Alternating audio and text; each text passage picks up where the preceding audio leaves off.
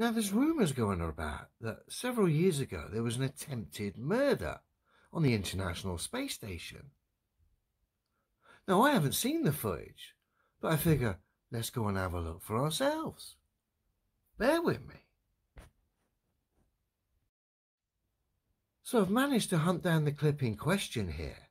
We've got the two chaps in the blue t-shirts, the astronauts supposedly, and of course we've got the top boy himself, Chris Hadfield, with his favourite astronaut tool, his guitar.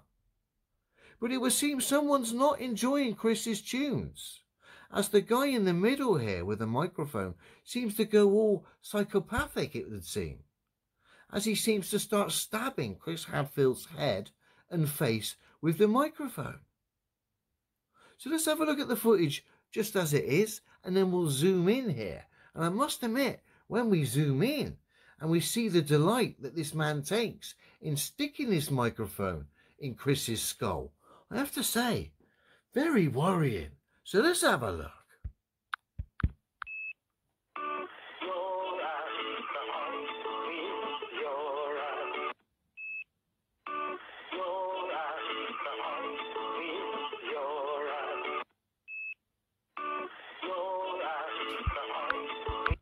Poor old Chris. Not a good day that, is it? Dear, oh dear. Let's zoom in. Bear with me. And when we do zoom in, it does look like our mate here is literally trying to carve Chris Hadfield's head up with the microphone. And of course, he's having great fun doing so.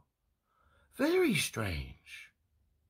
So has our mate here just lost the plot and decided to stick the microphone inside Chris Hadfield's skull? Or is there a bit of a special effects meltdown going on here? What do you reckon? Special effects meltdown? Or psychopathic nutter sticking a microphone inside the skull of an astronaut?